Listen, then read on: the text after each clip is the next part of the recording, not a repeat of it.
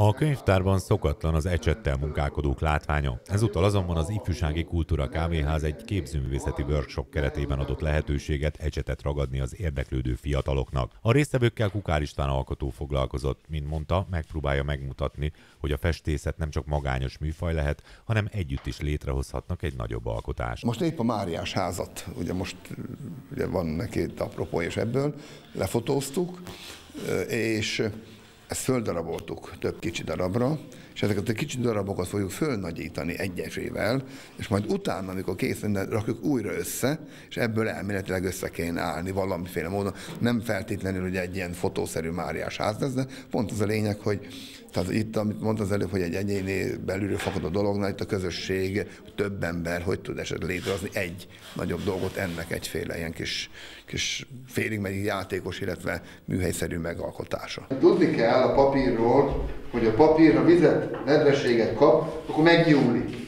Kukár István nem csak elsősorban technikákat ismertetett, hanem egyfajta szemléletmódot próbál meg bemutatni.